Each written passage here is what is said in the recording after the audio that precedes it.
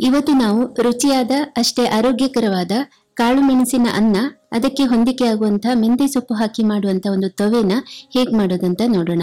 ನಮಸ್ಕಾರ, ನಾನು ಅಂಬಿಕಾ ಶೆಟ್ಟಿ. ಸವಿರುಚಿ ಕಾರ್ಯಕ್ರಮಕ್ಕೆ ನಿಮ್ಗೆಲ್ಲರಿಗೂ ಸ್ವಾಗತ. ಮೊದಲು ಕುಕ್ಕರಿನಲ್ಲಿ ಹದಿನೈದು ನಿಮಿಷ ನೆನೆಸಿರುವಂತ ಅರ್ಧ ಕಪ್ ತೊಗರಿ ಬೇಳೆನ ಹಾಕಿದ್ದೇನೆ. ಒಂದು ಗೊಂಚಲು ಮೆಂತೆ ಸೊಪ್ಪನ್ನ ಹೆಚ್ಚಿ ಹಾಕಿದ್ದೇನೆ.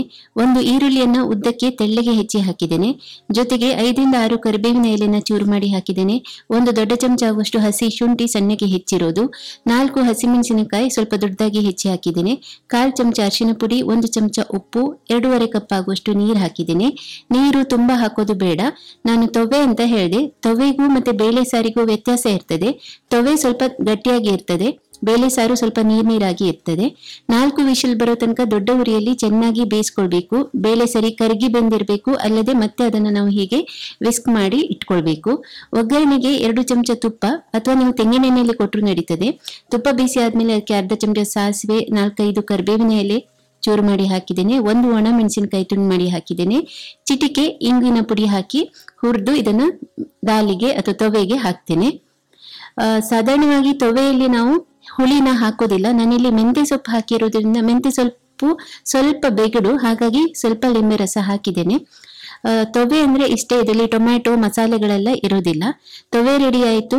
ಅನ್ನ ಮಾಡಲಿಕ್ಕೆ ಮಸಾಲೆ ಪುಡಿಗೆ ಒಂದು ದೊಡ್ಡ ಚಮಚ ಕಾಳುಮೆಣಸು, ಮೂರು ಲವಂಗ, ಒಂದು ಇಂಚು ಗಾತ್ರದ ಚಕ್ಕೆ, ಹಾಗೆಯೇ ಕಾಲು ಚಮಚ ಓಮ, ಅರ್ಧ ಚಮಚ ಜೀರಿಗೆ.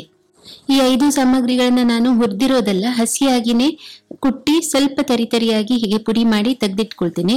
ಈ ಮಸಾಲೆ ಪುಡಿನ ನಾವು ನಂತರ ಅನ್ನಕ್ಕೆ ಹಾಕೋಣ. ನಾನು ಈಗಾಗಲೇ ಅನ್ನನ ಬೇಯಿಸಿ ಇಟ್ಕೊಂಡಿದ್ದೇನೆ ಒಗ್ಗರಣೆ ಕೊಟ್ರೆ ಆಯ್ತು. ಒಗ್ಗರಣೆಗೆ ಒಂದು ಬಾಣಲೆಯಲ್ಲಿ ಎರಡು ದೊಡ್ಡ ಚಮಚ ಎಣ್ಣೆ ಬಿಸಿ ಮಾಡಿದ್ದೇನೆ.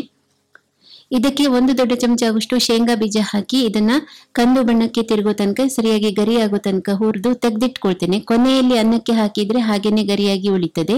ತಿನ್ಲಿಕ್ಕೆ ಚೆನ್ನಾಗಿರ್ತದೆ. ನಂತರ ಅರ್ಧ ಚಮಚ ಸಾಸಿವೆ ಸಾಸಿವೆ ಸಿಡಿದ ಮೇಲೆ ಒಂದು ಚಮಚ ಉದ್ದಿನ ಬೇಳೆ ಐದರಿಂದ ಆರು ಕರಿಬೇವಿನ ಎಲೆನ ಹಾಕಿ ಹುರ್ಕೊಳ್ತಾ ಇದ್ದೇನೆ. ಈಗ ಇದಕ್ಕೆ ಒಂದು ದೊಡ್ಡ ಚಮಚ ಆಗುವಷ್ಟು ಸಣ್ಣಗೆ ಹೆಚ್ಚಿರುವ ಹಸಿ ಶುಂಠಿ ಮತ್ತೆ ಬೆಳ್ಳುಳ್ಳಿ ಎಸ್ಲು ಎರಡನ್ನೂ ಹಾಕಿ ಚೆನ್ನಾಗಿ ಹುರಿದಿದ್ದೇನೆ. ಒಂದು ಈರುಳ್ಳಿಯನ್ನು ಉದ್ದಕ್ಕೆ ತೆಳ್ಳಗೆ ಹೆಚ್ಚಿ ಹಾಕಿದ್ದೇನೆ. ಇದನ್ನು ಕೂಡ ಚೆನ್ನಾಗಿ ಹುರ್ಕೊಳ್ತಾ ಇದ್ದೇನೆ. ಮತ್ತೆ ಮಸಾಲೆ ಪುಡಿಗಳೆಲ್ಲ ಬೇರೆ ಏನು ಹಾಕೋದಿಲ್ಲ ಟೊಮೆಟೊ ಹಾಕ್ತಾ ಇಲ್ಲ. ಮಾಡಿ ಕುಟ್ಟಿಟ್ಕೊಂಡಂತಹ ಪುಡಿ ಮತ್ತೆ ಕಾಲ್ ಚಮಚ ಆಗುವಷ್ಟು ಅರಿಶಿನ ಪುಡಿ ಹಾಕಿ ಚೆನ್ನಾಗಿ ಅದನ್ನ ಕಲಸಿ ಒಂದು ನಿಮಿಷ ಹೀಗೆ ಹುರಿತಾ ಅದನ್ನ ಅಲ್ಲೇ ಬೇಯಿಸ್ಕೊಳ್ಬೇಕು. ನಾವು ಮೊದಲೇ ಹುರ್ಕೊಂಡಿರ್ಲಿಲ್ಲ ಆ ಮಸಾಲೆ ಪುಡಿಗೆ ಹಾಕಿದ ಸಾಮಗ್ರಿಗಳನ್ನ. ಈಗ ಅದಕ್ಕೆ ಮಾಡಿಟ್ಕೊಂಡಿರುವ ಅನ್ನ ಅನ್ನ ಎರಡು ಕಪ್ ಆಗುವಷ್ಟು ಹಾಕಿದ್ದೇನೆ. ಚೆನ್ನಾಗಿ ಇದನ್ನ ಮಿಕ್ಸ್ ಮಾಡ್ಕೊಳ್ಬೇಕು. ರುಚಿಗೆ ತಕ್ಕಷ್ಟು ಉಪ್ಪು, ಅರ್ಧ ಚಮಚ ಹಾಕಿದ್ದೇನೆ ನಾನು. ನಾನು ಈ ಅನ್ನಕ್ಕೆ ಕೊನೆಯಲ್ಲಿ ಲಿಂಬರಸ ಹಾಕ್ತಾ ಇಲ್ಲ. ಈ ಅನ್ನಕ್ಕೆ ಅಂತಾನೆ ನಾನು ತೊವೆ ಮಾಡಿರೋದ್ರಿಂದ ಅದರಲ್ಲಿನೂ ಕೂಡ ಹುಳಿ ಹಾಕಿರೋದ್ರಿಂದ ಹಾಕಿಲ್ಲ. ಕೊನೆಯಲ್ಲಿ ಸಣ್ಣಗೆ ಹೆಚ್ಚಿರೋ ಕೊತ್ತಂಬರಿ ಸೊಪ್ಪು ಮತ್ತೆ ಹುರಿದು ತೆಗೆದಿಟ್ಟಂತ ಶೇಂಗಾ ಬೀಜನ ಹಾಕಿ ಚೆನ್ನಾಗಿ ಮಿಕ್ಸ್ ಮಾಡಿದ್ರೆ ಅನ್ನ ಕೂಡ ರೆಡಿ ಆಗ್ತದೆ. ನೀವು ಬೇಕಿದ್ರೆ ನಾನು ಎರಡು ದೊಡ್ಡ ಚಮಚ ಎಣ್ಣೆ ಹಾಕಿ, ಒಗ್ಗರಣೆ ಹಾಕಿದ್ದೇನೆ. ಎಣ್ಣೆನ ಆದಷ್ಟು ಇನ್ನೂ ಕಡಿಮೆ ಮಾಡಬಹುದು ತೆಂಗಿನೆಣ್ಣೆ ಕೂಡ ಉಪಯೋಗಿಸಬಹುದು ಗಂಟಲು ಕೆರೆತ ಇದ್ದಾಗೆಲ್ಲ ಈ ರೀತಿ ಮಾಡ್ಕೊಂಡು ನಾವು ಊಟ ಮಾಡಬಹುದು ಒಂದು ಒಳ್ಳೆ ಕಾಂಬಿನೇಷನ್ ಟ್ರೈ ಮಾಡಿ ನೋಡಿ. ಇವತ್ತಿನ ಈ ಅಡುಗೆ ವಿಧಾನ ನಿಮ್ಗೆ ಇಷ್ಟ ಆಗಿದೆ ಅಂತ ಭಾವಿಸ್ತೇನೆ. ಇನ್ನೊಂದು ಅಡುಗೆ ವಿಧಾನದೊಂದಿಗೆ ನಾನು ಮತ್ತೆ ಬರ್ತೇನೆ. ನಿಮ್ಮ ದಿನ ಶುಭವಾಗಿರ್ಲಿ ಧನ್ಯವಾದಗಳು.